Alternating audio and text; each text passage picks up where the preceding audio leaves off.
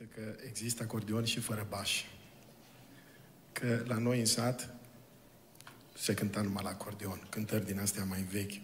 Slavă Domnului că în această zi Dumnezeu a primit închinarea noastră și că nu contează în primul rând dacă ne închinăm cu acordeonul sau cu acordeonul ăsta fără baș sau la chitară. Important e ca inima noastră să se acordeze pe gama Harului lui Dumnezeu. Amin.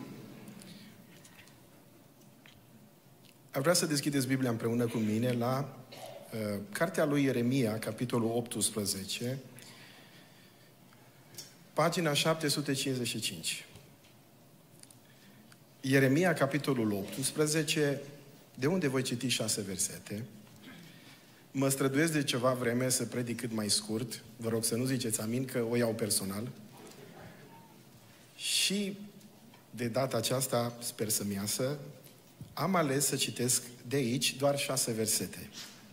Din Ieremia, din capitolul 18, primele șase versete, pagina 755. Evident că traducerea Cornilescu, și nu mai spun asta ca să par mai interesant, pentru că cei mai mulți dintre noi folosim traducerea Cornilescu. Dacă ați găsit textul, puteți să ziceți un amin ca să știu să mă pornesc. Nu, l-ați găsit sau nu? Amin, vreo câțiva. Bun. Ieremia, capitolul 18, primele șase versete. Prezintă una dintre cele mai interesante comparații sau una dintre cele mai interesante metafore pe care le găsim în toată Biblia. O metaforă care descrie felul în care Dumnezeu ne schimbă viața. Și metafora asta, sau comparația aceasta, pe care Biblia o folosește aici, sau prorocul Ieremia, inspirat de Duhul Sfânt, o folosește aici, e metafora unui Dumnezeu care e un olar universal. Iar noi, în mâinile lui Dumnezeu, suntem lutul. E o și o cântare veche, probabil că fratele Petrișor o știe, aia, Domnul a trimis pe Ieremia, nu știu, versurile nu le știu, în casa polarului sau așa ceva. Ieremia, capitolul 18, versetul 1. Cuvântul vorbit lui Ieremia din partea Domnului și care sună astfel. Scoală-te și coboară-te în casa olarului. Acolo te voi face să auzi. Asta mi se pare extraordinar, Ieremia nu era surd.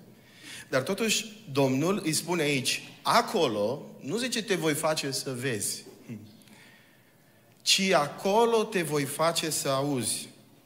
Și parcă mai mult ca niciodată, într-o lume dominată de vizual.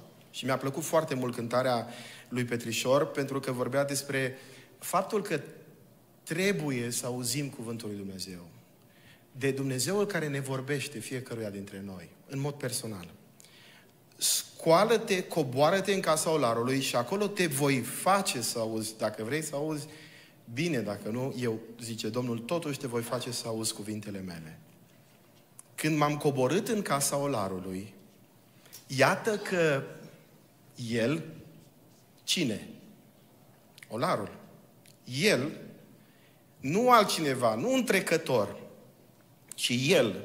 Adică, olarul v-am spus că e o metaforă, el îl simbolizează pe Dumnezeu. El lucra pe roată. Vasul pe care, pe care îl făcea, cine? Olarul, care îl reprezintă pe Dumnezeu, n-a izbutit să facă Dumnezeu ceva care să nu izbutească perfect? Nu ne rămâne decât să ne uităm în oglindă.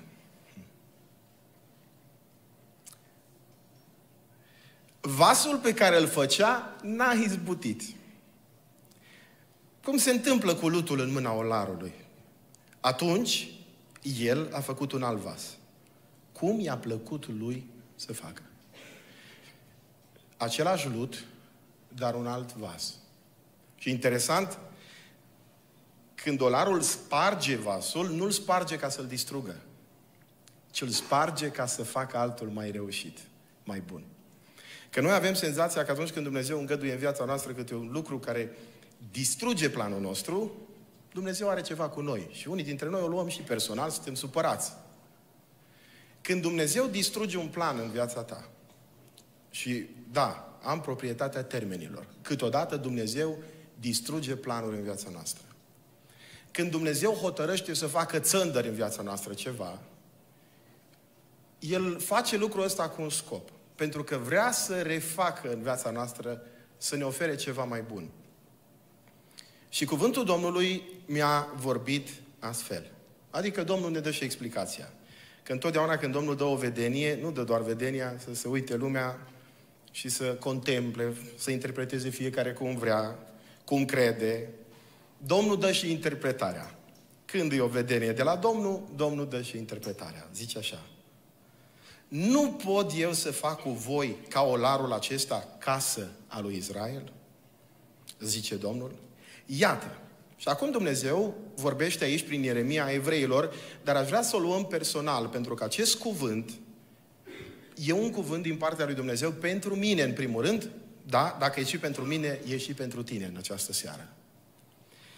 Iată cum este lutul în mâna olarului. Așa sunteți voi, zice Domnul, în mâna mea. Și mai zic o dată. Cum este lutul în mâna olarului. Așa sunteți voi, zice Domnul, în mâna mea. Și în cazul de față, sigur că ultima sintagmă, ultimile cuvinte, se referă la casa lui Israel. Pentru că prorocul Ieremia se referea la faptul că evreii din vremea lui refuzau să se lase modelați de Dumnezeu. De ce? Pentru că felul în care Dumnezeu avea de gând să-i modeleze nu era prea plăcut. Pentru că olarul când hotărăște să facă un vas mai bun și mai frumos, prima dată sparge vasul acela care n-a ieșit perfect. Și după ce îl sparge, din același lut, face un alt vas care să-i placă lui, care de data aceasta să fie unul perfect. Și poporul evreu din vremea aceea, așa cum și noi astăzi, înțelegem că suntem calutul în mâna lui Dumnezeu, dar totuși, când Dumnezeu ne modelează, nu prea ne place. Prea puțini oameni, prea puțini dintre noi avem această putere de a spune, Doamne, dacă Tu ai hotărât să strici ceva în viața mea, ceva ce eu mi-am planificat, sunt gata să accept, Doamne, voia Ta, pentru că știu că este spre binele meu. Sunt întotdeauna impresionat și în urmă cu ceva vreme am poposit într-un spital, au trecut deja câteva săptămâni, când mi-a fost dat să aud a treia, a patra oară în viață, nu de foarte multe ori auzi asta, mai ales când e vorba de cineva bolnav foarte grav, să aud pe cineva spunând, frate pastor, nu vreau să te rogi ca Dumnezeu să mă vindece, pentru că știu că în cazul meu boala aceasta mă va duce la moarte și știu că Dumnezeu a hotărât să mă ia acasă. Roagă-te doar ca Dumnezeu să-mi dea putere să duc cu bucurie crucea aceasta pe care am îngăduit-o în viața mea. Foarte rar aud, pentru că de cele mai multe ori noi oamenii suntem revoltați când realizăm că e ceva în viața noastră ce vrea să se schimbe, dar nu se schimbă cum vrem noi. Și despre asta vreau să vorbesc în această seară. Titlul predicii este Atunci când Dumnezeu îți schimbă viața. Sau dacă vrei, e un îndemn. Lasă-L pe Dumnezeu să schimbe viața. Fiecare dintre noi constatăm la un moment dat că sunt lucruri în viața noastră pe care le-am vrea schimbate. Și n-am să vă pun în această seară să faceți un exercițiu de sinceritate, dar în frunte cu mine, fiecare dintre noi avem în viața noastră lucruri pe care le-am dorit altfel. Și dacă mă spune pe mine să, și m-ați întreba, da? Sunt în principiu, dacă nu aveți întrebări, eu am răspunsuri. Dacă m-ați întrebat în această seară dacă doresc să schimb ceva, sunt sigur că atât eu cât și voi, fiecare dintre noi am avea motive să spunem, da, sunt lucruri pe care aș vrea să le schimb în viața mea. Dar ne izbim la un moment dat de limitările noastre și realizăm că oricât de mult ne-am străduit, sunt lucruri pe care Dumnezeu refuză să le schimbe în viața noastră. De ce? Pentru că e spre binele nostru așa. Ne lovim de acest refuz câteodată și Ni se pare că Dumnezeu e nedrept, că viața e nedreaptă, suntem frustrați, suntem supărați, Altă dată refuzăm să mai venim la biserică sau și când venim, venim tot timpul cu capsa pusă, tot timpul supărați. Nu înțelegem că Dumnezeu permite în viața noastră lucruri pe care noi am vrea să le schimbăm, dar în realitate Dumnezeu zice, lasă-le așa. De câte ori am stat de vorbă cu oameni care mi-au spus, de când sunt bolnav, mă rog mai mult. De când am pierdut banii aceia, parcă îl caut pe Dumnezeu mai mult. De câte ori n-am vorbit cu oameni care mi-au spus, îi mulțumesc lui Dumnezeu că Dumnezeu a îngăduit în viața mea necazul, boala, suferința. Noi astăzi, când vorbim mult despre așa zisa teologia prosperității, uităm că de fapt în rai mărturiile, și spun între ghilimele, mărturiile care vor fi aduse acolo vor fi uh, invers decât mărturiile pe care astăzi le prezentăm în bisericile noastre. Adică vor fi oameni acolo, uite, dintre cei care vin la noi în adunare în căruciorul cu rotile, care îi vor spune lui Dumnezeu în ziua aceea, Doamne, îți mulțumim că ai îngăduit ca în lumea în care am trăit 40, 50, 60, 80, 90 de ani, să stăm într-un cărucior cu rotile. De ce? Pentru că dacă n-ai fi îngăduit asta în viața noastră, poate n-am fi ajuns aici. Cele mai multe mărturii astăzi și pe bună dreptate, da, noi ne așteptăm aici mărturiile unui eșec. De cele mai multe ori, din punctul nostru de vedere, succes înseamnă prosperitate, sănătate și bine. Și așteptăm ca atunci când cineva urcă aici pe scenă să ne spună îi mulțumesc lui Dumnezeu, cum Dumnezeu a vindecat, Dumnezeu a eliberat, cum Dumnezeu a binecuvântat financiar. Da, Dumnezeu face și asta, dar tot Dumnezeu îngăduie să pierzi banii aceia pe care tu i-ai pregătit să risipești în plăcerile tale, Dumnezeu a îngăduit să-i pierzi și spre binele tău. Și va fi o zi în care vei realiza asta. Și s-ar putea ca în această seară să fii aici tocmai pentru că ai trecut printr-un asemenea eșec. Tocmai pentru că tot ai încercat să schimbi ceva în viața ta, te-ai izbit ca de un zid de imposibilitatea de a schimba acel lucru și ai zis, mă duc la biserică să văd despre ce e vorba. Și aici, surpriză. Te așteptai să spun că astăzi Domnul ridică povara, că astăzi Domnul ridică bariera. Erau în anii 90 niște proroci, între ghilimele, specializați în a vedea bariere ridicate, coborâte, că oamenii plecau în America în vremea aia.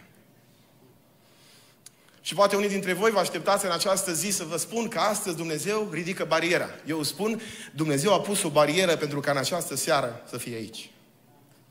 Dumnezeu a îngăduit pierderea tocmai pentru ca în această zi să fie aici.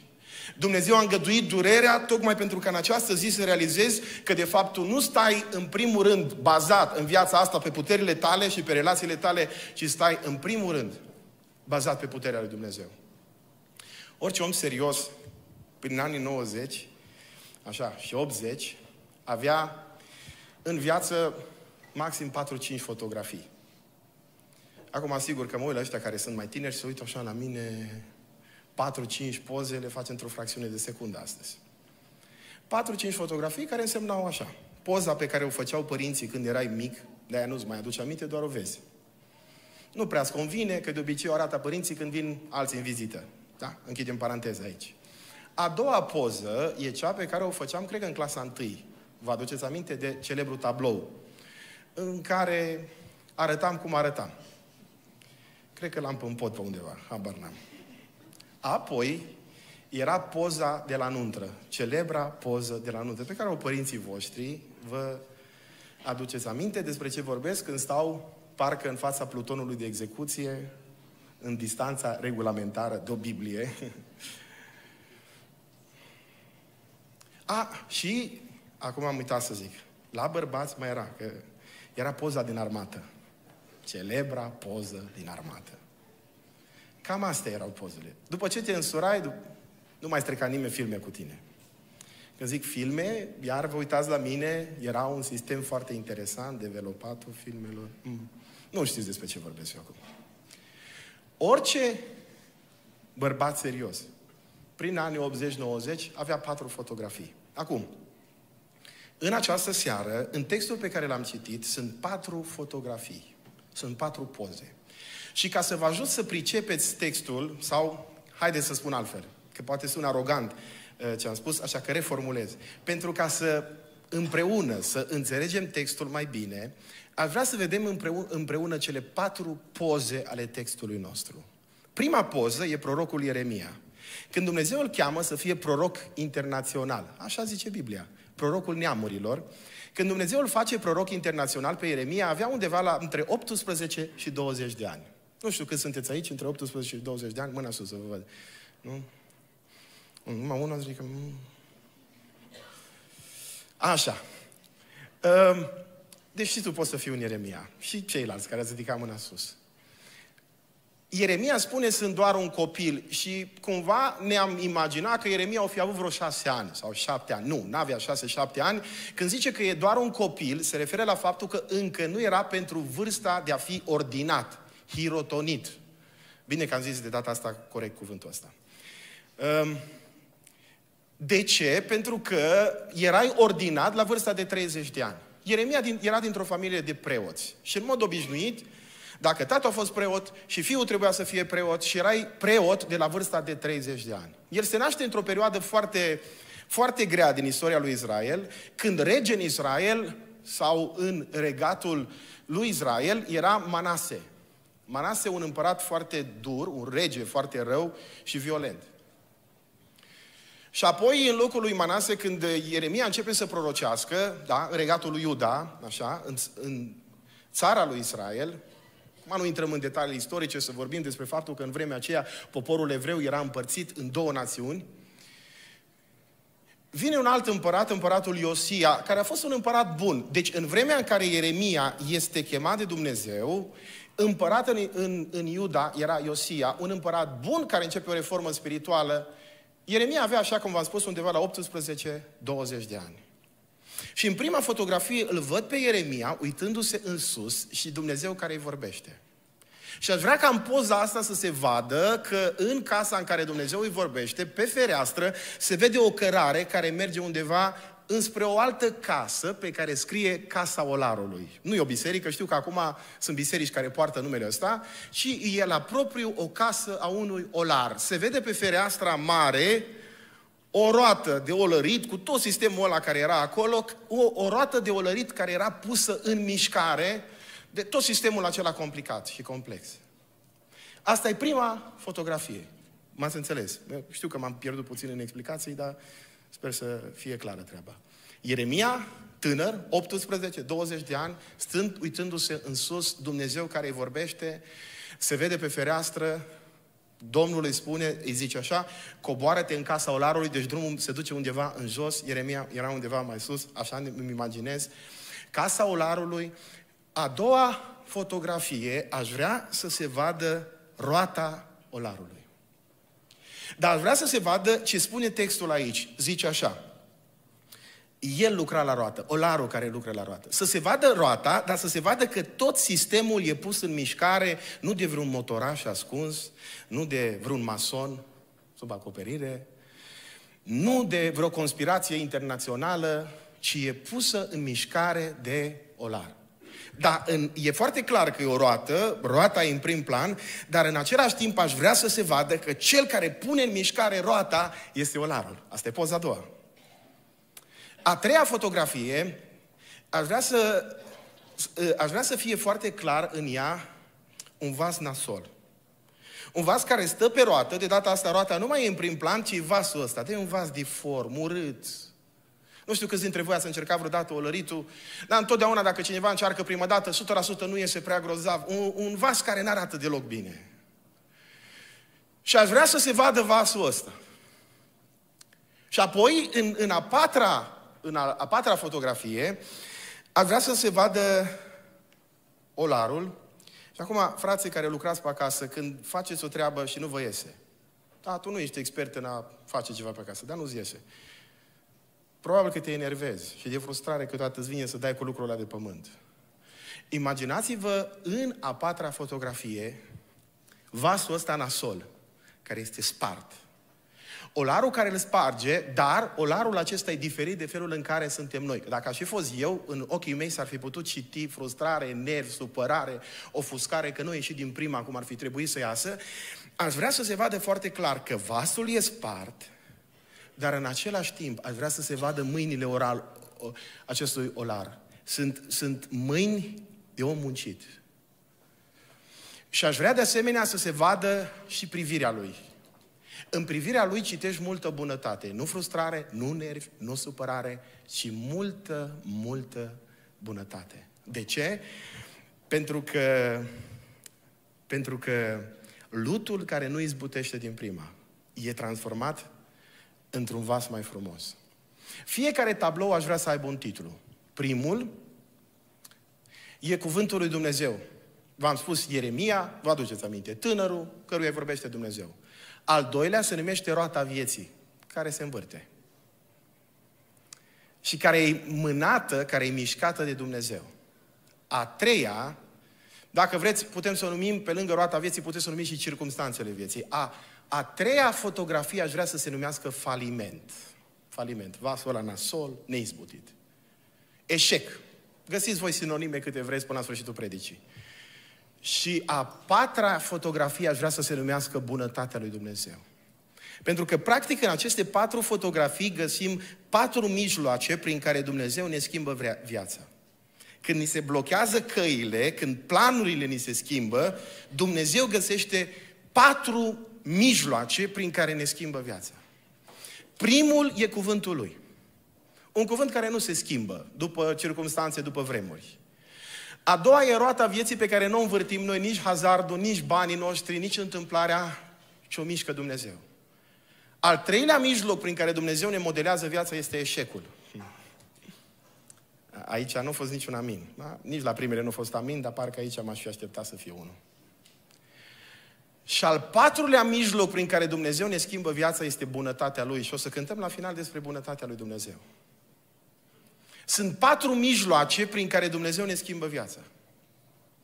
Mai întâi, Dumnezeu ne schimbă viața prin cuvântul Lui. Și ce îmi place în cazul de față, dacă vă uitați la text și acum vă uitați împreună cu mine, la primele versete, veți vedea că atunci când Dumnezeu vorbește, cuvântul lui Dumnezeu nu e opțional. Dumnezeu îi spune lui Ieremia, Ieremia, du-te și te voi face să auzi. Și mai zic o dată, nu vreau să accentuez pe faptul că Dumnezeu nu vine cu mai multe variante. Nu, Dumnezeu spune ce trebuie să faci. Dumnezeu nu spune dacă vrei să iei la stânga, iei la stânga, dacă vrei să iei la dreapta, iei la dreapta. Nu, Dumnezeu îți spune ce trebuie să faci. Dar aș vrea în momentele care urmează să înțelegem ceva ce Ieremia nu a înțeles din prima. Că atunci când e vorba de cuvântul lui Dumnezeu, trebuie să înveți să-l auzi. Să înveți să-l auzi. Uite, mă uit în sală. Vorbesc cu oameni care citesc Biblia. Citesc Biblia și se plictisesc înfiorător. Ascultă predica și la fel. Și mă întreb de foarte multe ori de ce se întâmplă asta. Și ce zice Domnul? Ce zice Domnul lui Ieremia? Te voi face să auzi. Vezi oameni care ascultă predici ani de zile și cărora parcă Biblia nu le vorbește deloc. Și totuși, odată, se ridică un om simplu, citește un verset din Biblie și omul acela care până atunci a dormit tot timpul sau a stat nepăsător tot timpul, dintr-o dată e ceva care se schimbă acolo. Dumnezeu te face să auzi. Aș vrea în seara asta, dacă ai venit aici, la biserică, acolo unde ești, nu știu, așezat pe un scaun oarecare. Și ai zis, bă, am venit la biserică în seara asta. Și ai venit aici tocmai pentru că Dumnezeu îți modelează în, în viața ta lucruri și nu-ți place. Și te-a chemat un prieten. Sau pur și simplu ai ales, ești unul dintre membrii bisericii noastre. Și ai venit în seara asta la biserică. E seara de evangelizare, dar hai să fim serioși, că noi ne tot evangelizăm. Și ești în această seară aici. Aș vrea să te întreb în modul cel mai sincer, când ultima dată ai auzit pe Dumnezeu vorbindu Și când spun, Ehm, l-ai auzit pe Dumnezeu vorbindu-ți, nu, nu mă refer doar la faptul că ai citit din Biblie, că ai citit din Biblie și ai citit cuvântul acesta ca pe o literatură, ca pe orice altă carte. Îmi place așa de mult ce spune Domnul aici. Îi zice lui Ieremia, te voi face să auzi. Dacă până în momentul de față, da, te-ai raportat la Biblie ca la orice altă carte și ai vrea în această seară în modul cel mai adevărat, să poți să spui când ai plecat acasă, cine a vorbit acolo. Nu, să nu spui, pur și simplu să uiți că a vorbit Adi Mocan. Nu mă interesează să ții minte numele meu. Să poți să spui în modul cel mai real și adevărat, mi-a vorbit Dumnezeu. Ei, pentru asta ai nevoie de ce se întâmplă aici, de propoziția asta. Te voi face să auzi. De aceea rugăciunea mea de fiecare dată e aceeași. De fiecare dată când mă ridic în fața unor oameni, fie că trei oameni, fie că o mie sau zece mii de oameni, de fiecare dată rugăciunea mea este aceeași. Doamne, fă să audă. Așa cum altă dată în Vechiul Testament omul lui Dumnezeu se ruga pentru slujitorul lui, slujitorul ăla despre care vă aduceți aminte că era îngrijorat, omul cu frica, care vine la, vine la stăpânul lui și zice, ce vom face? Și, și omul ăsta se roagă, se roagă, Doamne, fă să vadă că de partea noastră sunt mai mulți decât împotriva noastră. Și, și în momentul în care Dumnezeu acționează asupra vederii lui, dintr-o dată începe să înțeleagă și să vadă. Știu că cei care sunteți pocăiți pricepeți referința la, pe care o fac acum, la Vechiul Testament. Te voi face, zice Domnul, să auzi. Câteodată noi din disperare de cauză, și trebuie să o recunoaștem asta, noi toți predicatorii trăim asta, sunt momente în viața noastră când din disperare de cauză ridicăm tonul, în speranța că oamenii vor auzi mai bine așa, nu? E ca și cum ai vorbi în engleză, sau mă rog, nu, ai vorbi în română cu unul care pricepe numai engleză și ai ridicat tonul și ai zice, bă, ăsta înțelege mai bine. Toți ați experimentat asta și v-am mai povestit acest lucru și îmi place întotdeauna să zic treaba asta când mă duc în afară și vorbesc cu românii de acolo, bă, le zic, când ați venit aici prima dată și n știu limba, așa că ați vorbit în română cu ea mai tare. Și ai zis ăla, mă înțelegi? Deci n mai zici tu, mă înțelegi, că el nu pricepe. te voi face să auzi. Niciodată acest te voi face să auzi sau nu poate fi uh, substituit de ridicarea tonului. Niciodată. Te voi face să auzi. Mă uit peste locul acesta. Unii dintre voi aveți copii cărora le spuneți și totuși nu aud. Aveți în familia voastră oameni cărora le spuneți despre Dumnezeu, ai în casa ta, în familia ta, dintre colegii tăi și le spui și totuși și îți vine să spui, Doamne, fă să audă. Ei aud, dar nu, nu pricep. Și Domnul zice, te voi face să auzi. Mă rog în seara asta, Doamne Dumnezeule, pentru ca noi, cei ce suntem în locul acesta, să putem spune, indiferent de confesiunea noastră, fie că suntem pocăiți sau nu, sau nu Doamne, sunt gata să accept, să accept planul Tău pentru viața mea și sunt gata, Doamne, să, să, să spun, lucrează, Doamne, în viața mea, așa cum vrei Tu. Sunt gata să las ca viața mea să fie modelată de Tine, așa cum lutul e modelat de olar. Doamne Dumnezeule, te rog, modelează în viața. Și sunt gata, Doamne Dumnezeule, să stau la dispoziția Ta. Și sunt gata, Doamne Dumnezeule, să spun, lucrează în viața mea așa cum vrei Tu să lucrezi. Și te rog, Doamne Dumnezeule, fă să aud. N-ați fost niciodată invidioși când eram adolescent, veneam la biserică și stăteam lângă un frate care tot de timpul zicea, mă, ce bine a vorbit Domnul nostru. Și ziceam, bă, cum a vorbit Domnul? Că a vorbit fratele Pavele, fratele Flore, fratele Crăciune, fratele nu știu care. Cum a vorbit Domnul? Că ăla a vorbit și mă plictisit de nu mai puteam. Și mergeam acasă și era câte unul, mă, ce-a vorbit Domnul și eu nu mă auzeam vocea Domnului. Până când se împlinește propoziția asta, te voi face să auzi. Și în această zi, draga mea, dragul meu, tu care ai auzit poate de multe ori vorbindu-se despre Dumnezeu, ai primit de la părinții tăi, de la bunicii tăi, de la colegii tăi, de la cunoscuții tăi sfaturi despre Dumnezeu, dar încă nu ai auzit în modul cel mai real vocea lui Dumnezeu. Aș vrea în această seară aici să auzi vocea lui Dumnezeu care spune, îmi pasă de tine, îmi pasă de viața ta, îmi pasă de sufletul tău, sunt gata să schimb viața chiar în această zi.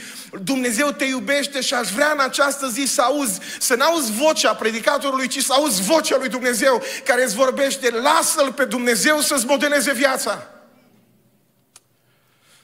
E primul tablou, tabloul cuvântului care schimbă. Apoi al doilea, e roata, roata vieții. Știți cum e vorba aia? Azi că se învârte roata. Știți? Despre ce vorbesc. Nu e acum cum trebuie, dar lasă că... Sau mai e o vorbă românească. Mă, ce bine te-ai învârtit. Asta o știți? Mă, nu prea te-ai învârtit bine. Știți de ce? Că unii dintre noi avem senzația că roata stă și noi ne învârtim. Nu, no, nu, no, nu. No. Cel care învârte roata e Dumnezeu, Marele Olar. S-ar putea să ai senzația că tu te-ai învârtit că tu pui în mișcare roata, că relațiile tale, banii tăi, inteligența ta, școala ta, las că le învârt eu. Mă, ce s-au învârtit. Sau unii cred că norocul. Cum s-a fost norocul? Îmi aduc aminte de o fază simpatică. La un moment dat n-am fost prea atent, n-are nicio legătură cu norocul, n-am fost atent și din greșeală, în urmă cu câțiva ani, am vizitat un șanț cu mașina așa, în laterală. Și trece un cunoscut pe lângă, lasă geamul jos, eu acolo, zice, n-ai avut noroc, așa -i? Ridică și după aia pleacă. Și m-a lăsat acolo.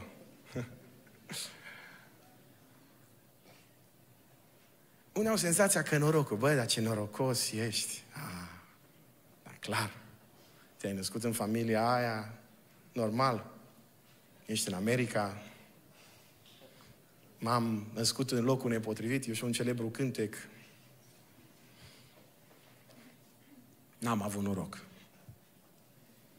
Și unii cred că roata vieții e mișcată de, hai să folosesc cuvântul ăsta mare, hazard, de întâmplare. Așa au fost să fie. De destin. Unii cred că ei mișcă roata. Și e și comic lucrul ăsta. Când omul încearcă, și știți când, când se învârte bine roata, cum ne place nouă, avem senzația că noi o mișcăm. Dacă se mișcă cum nu ne place nouă, zicem, mă, dar eu credeam că eu o mișc. Nu se mai mișcă. Nu. De ce nu se mai mișcă? Până acum eu am crezut că eu o mișc. Și la un moment dat Dumnezeu o blochează și te duci la doctor și doctorul spune nu mai pot face nimic. Cum adică nu mai pot face nimic? Eu am bani. Banii mei o mișca roata până acum. Mm-mm. Și dacă astăzi ești în situația în care roata nu se mai învârte cum vrei tu, Dumnezeu a oprit mișcarea roții vieții tale în funcție de cum ai fi crezut tu că e bine, pentru că ai avut iluzia până în momentul de față că tu o învârți. Și ca Dumnezeu să spulbere această iluzie, a oprit-o din mersul ei, care era așa de convenabil și așa de plăcut pentru tine. Și Dumnezeu a zis, stop, joc. Și tu te-ai trezit în fața doctorului și a zis, domn doctor, știi ceva? Las că mă duc la altul care e mai bun decât tine. Du-te că tot același lucru să primești ca rezultat. Dar păi eu am bani, eu am relații. Dar știi cine ești eu? Eu am mișcat roata. Nu.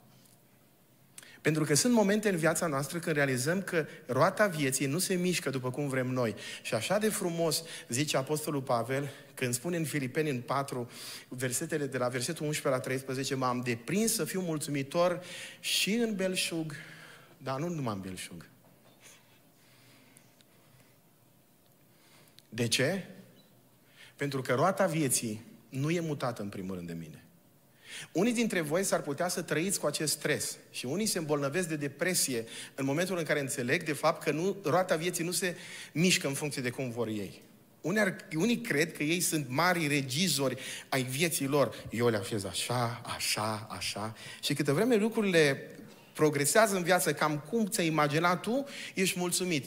Dar Dumnezeu, ca să-ți dea o lecție și să înțelegi că tu, de fapt, în realitate, depinzi total de El, la un moment dat pune stop joc. E un diagnostic. E o boală. E o situație pe care oricât ai încercat să o schimbi, nu reușești. Și zici, bă, dar până acum au mers cu bani, dar până acum au mers cu asta, dar până acum au mers cu relațiile mele, dar până acum au mers... Și dintr-o dată înțelegi că e cineva care mișcă roata. Și acesta este Marele Olar. Că roata vieții nu se mișcă după cum ai vrea tu. Dar vreau să vă spun ceva în privința asta. Să știți că Marele Olar, Olar știe foarte bine ce face. De asta stați liniștiți. Când uh, te duci cu avionul, trebuie să fii liniștit că pilotul știe ce face. Sunt convins, și am mai spus treaba asta, că n-ați vrea să auziți că pilotul zice uh, cu ajutorul Domnului sperăm că va fi bine. Oricât ai fi tu de pocăit. Sau că ți-ar zice, am postit de o săptămână, sperăm să zburăm. Mă, o postit, el o postit, dar știe să... sau nu știe să? Când te duci la un chirurg care urmează să te opereze, sunt convins că trebuie să ai încredere în competența lui. E adevărat? Vreau să vă spun ceva. Dumnezeu știe cum să miște roata vieții tale. Ai încredere în El. Tot cântăm aici, dar asta aici vorbesc cu pocăiții mei, tot cântăm aici despre înțelepciunea lui Dumnezeu, despre puterea lui Dumnezeu. Draga mea, Ești frustrată pe Dumnezeu, ești supărată pe Dumnezeu, ești supărat pe Dumnezeu din cauza circunstanțelor din viața ta. Dumnezeu știe, încrede-te în El. Din fericire pentru noi, nu noi mișcăm roata, din fericire, nu numai pentru noi, și pentru aia de lângă noi, că ar fi mai rău. Nu noi mișcăm roata. Roata vieții este mișcată de Dumnezeu. Sunt lucruri fundamentale în viața noastră pe care nu le decide niciun om, nici oculta mondială, nici masonii, nici președintele Americii, nici Vladimir Putin, ci unul singur și acesta este Dumnezeu. Și vă cer în această zi, dragii mei, lăsați-L pe Dumnezeu să vă modeleze viața așa cum consideră El de cuvință. De ce? Pentru că Dumnezeu știe mai bine. Dumnezeu știe mai bine. Da, dacă Dumnezeu a îngăduit să ajungi în spital, Dumnezeu știe mai bine. Dacă Dumnezeu a îngăduit să pierzi banii pe care i-ai pierdut, Dumnezeu știe mai bine. Dacă Dumnezeu a îngăduit să treci prin cât ai trecut, Dumnezeu știe mai bine. Și vreau să-ți mai spun ceva tot ce face Dumnezeu e spre binele tău. Chiar dacă astăzi nu poți pricepe, chiar dacă nu înțelegi de ce Dumnezeu a îngăduit în viața ta situația aceasta care pare imposibilă, ai încredere în competența și bunăvoința lui Dumnezeu. El este olarul, El mișcă roata vieții și El o face mai bine decât ai face tu și cu mine. Oricât de competenți ne-am crede noi. Slavă Lui! Am vorbit prea repede și nu prea am respirat. Slavă Domnului! Că, pentru că am putut să respir în sfârșit. Um, dacă am mișcat noi roata și când credem noi că mișcăm roata și nu merge treaba cum vrem noi, oh, suntem supărați, ne îmbolnăvim, dar când știi că totul e în mâna lui Dumnezeu, când știi că Dumnezeul acesta e bun și îți vrea binele, nu te mai îngrijorezi. Și nu poți să spui decât, Doamne, Îți mulțumesc că sunt aici, unde sunt. Și vreau să spun ceva. Doamne, modelează în viață. Ăsta e al doilea tablou, al treilea și ne apropiem de final. Al treilea tablou, cine și-l mai aduce aminte? Hai să văd, pe fază. Vasul spart. Cum se numește? Eșec. Eșec. Nereușită. Spune Biblia, neizbutit. Vasul nu ieșea. Vasul nu izbutea. Vasul pe care îl făcea nu izbutea. Și asta mi se pare foarte ciudat. Cum din mâinile unui Dumnezeu perfect poate să iasă ceva imperfect? Și acum, știți ce se întâmplă aici? Se întâmplă un lucru interesant. Există tendința asta de a critica, da? Atunci când uh, te uiți la cineva și îl vezi că e imperfect, există tendința de a critica. Una e mustrarea, alta e critica. Știți cine e vasul imperfect? V-am spus. Uitați-vă la mine. Eu sunt. Știți cine e vasul imperfect? Uitați-vă la voi. Voi sunteți. Și ar vrea să vă spun un lucru. Noi suntem tentați să criticăm. Atunci când vasul nu e perfect, suntem tentați să criticăm. Dar vasul nu are treabă. Știți cine are toate meritele? Știți cine are toate meritele? Olarul. Așa că dacă mă criticați pe mine, eu sunt imperfect. Dar toate meritele, întotdeauna, în ce privește viața mea, pot să spun înaintea voastră, o are El. Sunt imperfect. Nu uitați. Noi suntem în lucru. Nu suntem vase terminate, după cum vrea El. Suntem încă în lucru. Dumnezeu are un plan cu viața noastră și când dolarul are un plan, el nu se oprește. El continuă. S-ar putea ca viața ta să fie un eșec. De foarte multe ori ai încercat ceva, încă o dată, și încă o dată, și încă o dată, și încă o dată. Și îți vine să zici ca Iov, care zice la un moment dat în capitolul 10, versetul 8, Doamne, Tu m-ai făcut și tot Tu mă omori acum. Așa cum un olar face un lut. Doamne, Tu mă frămânți. Câteodată Dumnezeu ne construiește viața prin distrugere, prin spargere, prin eșec prin nereușită. Câți dintre noi nu putem mărturisi în această zi acest lucru? Dacă n-ar fi fost acel eșec, dacă n-ar fi fost acea nereușită, dacă n-ar fi fost în viața mea acel faliment, în această zi n-aș fi aici. Dar aș vrea să spun ceva. E adevărat că vasul n-a reușit. Dar știți ce e interesant?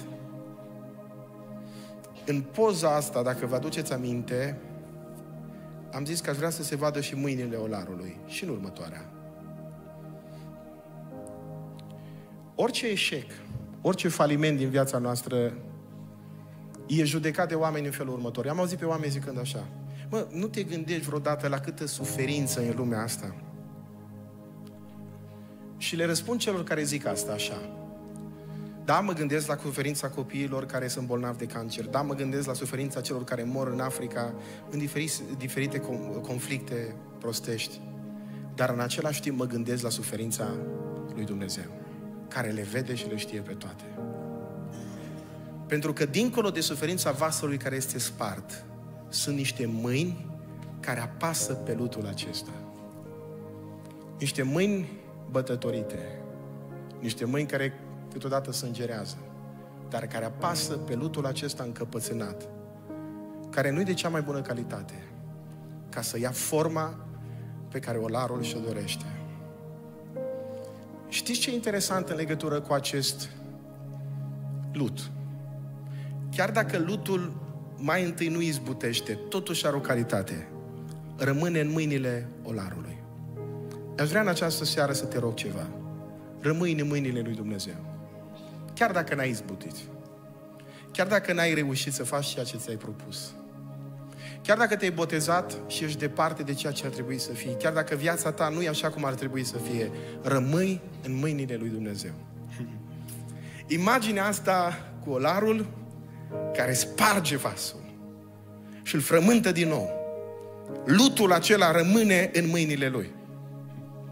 Pentru că a patra fotografie este despre bunătatea acestui olar care nu distruge vasul, ci îl reface. Sau îl distruge ca să-l refacă. Și îl frământă ca să dea o nouă formă. E bunătatea lui. Vreau să vă spun ceva.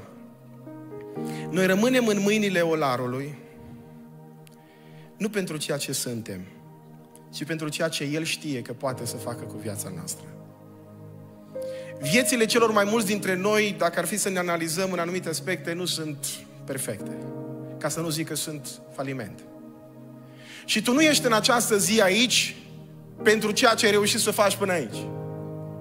Diavolul de obicei se uită la trecutul tău, Dumnezeu se uită la viitorul tău pentru că El știe ce poate să facă cu lutul acesta. Vă mai spun ceva. Un olar bun reușește să găsească un lut bun și dintr-un lut bun să facă un vas bun. Însă un olar perfect ia un lut imperfect și îl transformă într-un vas frumos. Lutul acela imperfect, bucata aia de pământ bătută de ploaie și călcată în picioare, care n-are nicio valoare decât atunci când stă în mâinile lui Dumnezeu, bucata aia de lut ești tu și cu mine. Iar ceea ce mă schimbă nu-i valoarea mea în sine, ci faptul că rămân în mâinile lui Dumnezeu. Vreau să vă spun ceva. Întotdeauna rămân uimit de faptul că Dumnezeu n-a renunțat la mine. Și întotdeauna rămân uimit de faptul că Dumnezeu n-a renunțat la noi. Dumnezeu nu face cum facem noi astăzi. Bă, noi ieși din prima, gata, mă duc și cumpăr altul. Nu. Vasul ăla era urât, l-am spart. Dar n-am renunțat la el. De asta îmi place așa de mult, e, e imaginea asta extraordinară aici. Cuvântul lui Dumnezeu zice așa, și a făcut un alt vas. Atunci el a făcut un alt vas. E același lut de un alt vas. Mai zic o dată. Același lut, dar un alt vas. E povestea noastră a tuturor. Același, dar altul. Pentru că întotdeauna când lutul acesta încăpățânat cade în mâinile olarului și rămâne în mâinile olarului, lutul acesta capătă frumusețe. Nu prin ceea ce este, ci prin faptul că stă în mâinile olarului. Mâinile Domnului apasă asupra vieții noastre de foarte multe ori. Și nu ne place și nu ne convine atunci când Dumnezeu îngăduie în viața noastră tot felul de lucruri. Dar vă spun ceva, lucrul ăsta ne transformă.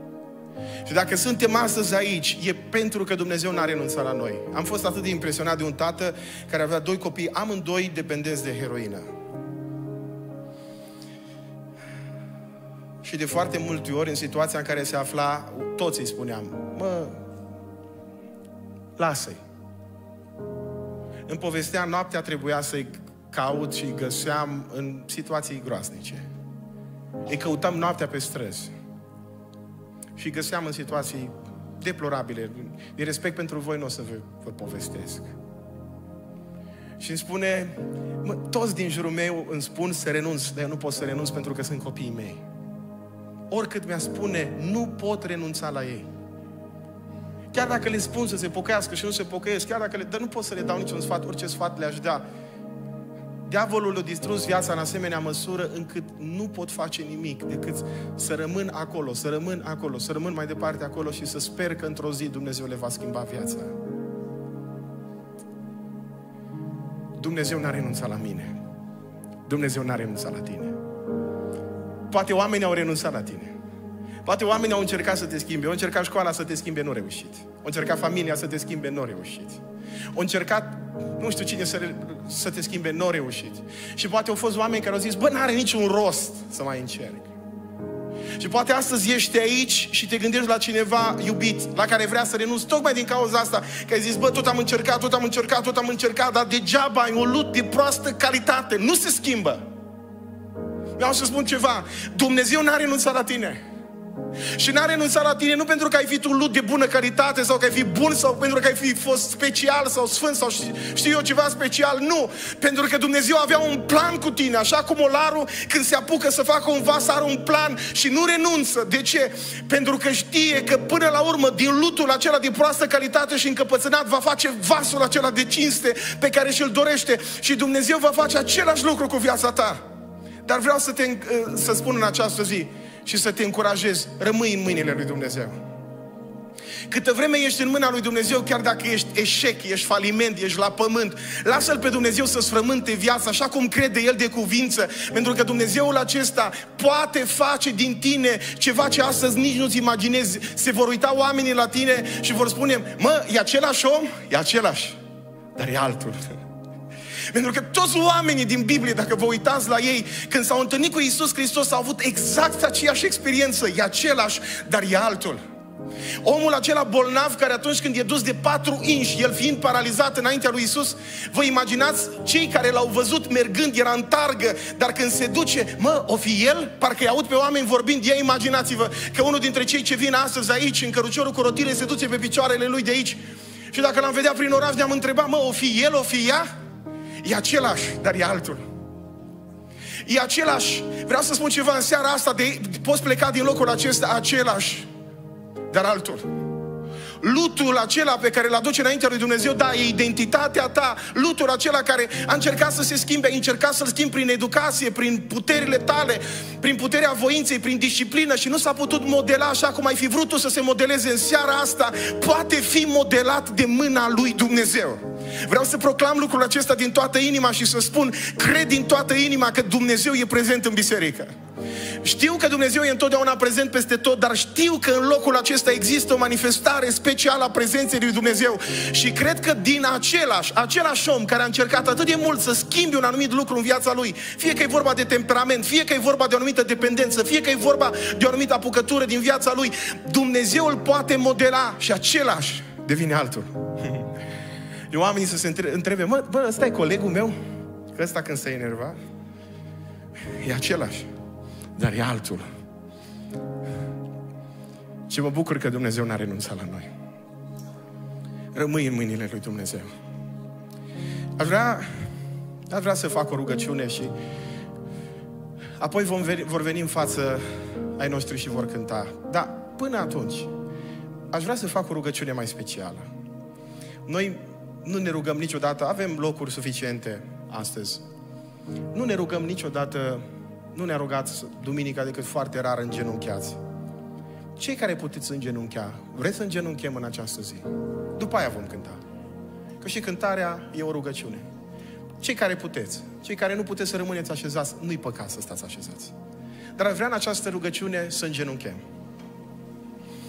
Rare ori se întâmplă lucrul acesta. Cei care puteți să o faceți, faceți-o.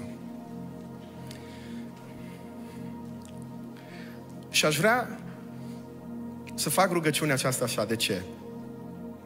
Pentru că aș vrea să-mi aduc aminte că Dumnezeu n-a renunțat la mine.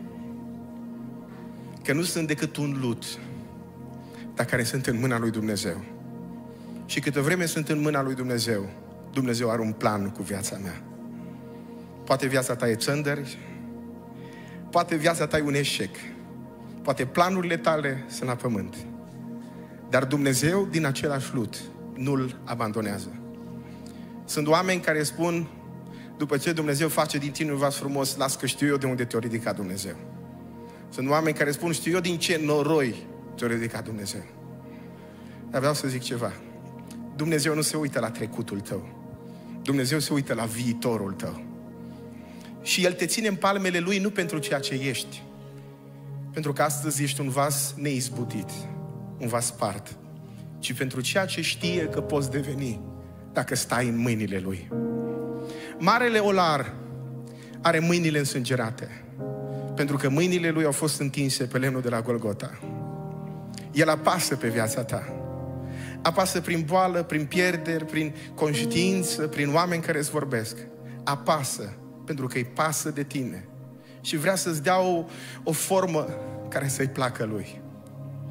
Dacă e cineva în această seară aici, care simte că viața lui spirituală e ca vasul ăla spart, și vrea în această seară viața lui spirituală să fie remodelată de Dumnezeu, aș vrea acolo unde ești să ridici o mână sus. Evangelizarea e și pentru pocăiți. Și ridicarea asta de mână e un fel de expune lui Dumnezeu, Doamne, te rog să modelezi viața. Doamne, stau la dispoziția Ta ca Tu să-mi remodelezi viața. Eu sunt vasul acela spart. Dar tot eu sunt lutul care rămâne mai departe în mâinile Tale. Îți mulțumesc că n-ai renunțat la mine. Când alții au renunțat la mine, îți mulțumesc, Doamne, că Tu n-ai renunțat. Și de ar fi renunțat toți oamenii din lumea asta și cei mai apropiați. Pot spune la fel ca Iov. Când rudele mele m-au părăsit, când cei de aproape au uitat de mine, răscumpărătorul meu este viu și se va ridica la urmă pe pământ. Dacă ești în această zi aici și ești vasul acela care trebuie remodelat de Dumnezeu, sau poate vrei să-ți predai viața în mâna lui Dumnezeu, fie că ești dintr-o categorie sau alta, stai cu mâna ridicată sus și mă voi ruga pentru tine. Doamne, mă rog pentru toți cei care stau cu mâna ridicată sus. Mărturisim, Doamne Dumnezeule, că vrem să rămânem în, în, în palmele Tale. Vrem, Doamne Dumnezeule, ca mâinile Tale să însângerate, să, să, să apese mai departe pe viața noastră. Și chiar dacă nu ne place câteodată și chiar dacă câteodată treaba asta creează durere și disconfort, Doamne, apasă mai departe pe viețile noastre. Modelează-ne, Doamne, viața după cum îți place ție. Modelează-ne, Doamne, sufletul după cum îți place ție. Mâinile tale, Doamne Dumnezeule, să apese pe noi în această zi. Prin Duhul Tău cel Sfânt, Doamne, atinge-ne în această zi. Vrem să simțim că suntem în brațele tale, vrem să simțim că suntem în palmele tale. Doamne Dumnezeule, chiar dacă sufletul, sentimentele și câteodată viața este cioburi în, în, în brațele tale, în palmele tale, Doamne, remodelează-ne și fă din noi un vas care să-ți placă ție, un vas de cinste, Doamne pentru gloria și pentru slava numelui Tău. Mă rog pentru toți cei care stau cu mâna ridicată, Doamne, în această zi, mărturisind că, că sunt în mâinile Tale și mulțumindu-ți, Doamne, că n-ai renunțat la ei. Unii dintre ei sunt astăzi aici, aduși de conjuncturi, de situații din viața lor. Doamne, îți mulțumesc că n-ai renunțat la noi. Îți mulțumesc, Doamne Dumnezeule, că atunci când alții ne-au părăsit, Tu nu ne-ai părăsit și îți mulțumim, Doamne, că Tu ai rămas Dumnezeul nostru lângă noi în fiecare clipă din viața noastră. Îți mulțumim că în această zi ne ridici prin Duhul Tău cel Sfânt și faci din noi vase frumoase, de cinste, glorioase și când, și când vom fi perfecți, când, când vasul vieții noastre și a sufletului nostru va fi perfect, frumos în ochii Tăi, o, în ziua aceea vom spune, slăvit să fie numele Tău. Și îți mulțumim, Doamne, că de multe ori vasul vieții noastre e așa cum vrei Tu să fie. Și dacă e așa, Doamne, îți mulțumim în seara asta. Slăvit să fie în veci. Amin. Ne ridicăm în picioare, invit echipa de închinare să vină în față. Și vom cânta, de fapt ne vom ruga cântând, pentru că acest cântec este o rugăciune o rugăciune pe care o cunoaștem, e arhi cunoscută, e de fapt și rugăciunea noastră finală. Rugăciunea noastră de sfârșit e despre bunătatea lui Dumnezeu. Și aș vrea Biserică Lumina, măcar acum, să ridicăm mâinile. Uitați, așa cum v-am promis, am încheiat mult mai repede ca de obicei. Predica mă refer. Așa că, haideți să ne închinăm lui Dumnezeu de data aceasta cu toată inima. Și să nu vă fie greu să ridicați mâinile. Da, cred că trebuie să avem libertatea asta de a ne închina înaintea lui Dumnezeu. Și acolo unde sunteți, să venim înaintea lui Dumnezeu ca într-o rugăciune. Puteți să închideți ochii pentru că acest cântec e arhicunoscut. Dacă nu știți versurile, puteți să le vedeți. Dar dacă le știți, haideți să cântăm cântarea asta cu ochii închiși, ca pe o rugăciune. Și să spunem, eu te iubesc, Doamne, mila Ta e nesfârșită. Și pentru că Tu ești bun cu mine, Doamne, îți mulțumesc că n-ai renunțat la mine. Îți mulțumesc, Doamne, că datorită bunătății Tale sunt în această zi aici. Vrei să-i mulțumim lui Dumnezeu pentru asta? Haideți, Biserică Lumina, să fim gata să ne închinăm lui Dumnezeu. Să spunem asta lui Dumnezeu din toată inima, să ridicăm inimile și mâinile și să spunem